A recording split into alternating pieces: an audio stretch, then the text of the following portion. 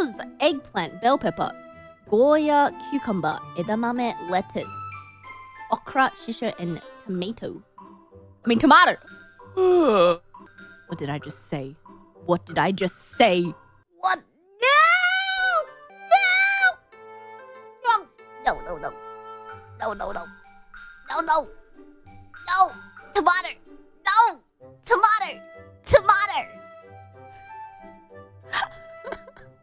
I need to speak in my Australian accent. I need to be more aware of my Australian accent or I'm actually gonna lose it. Okay.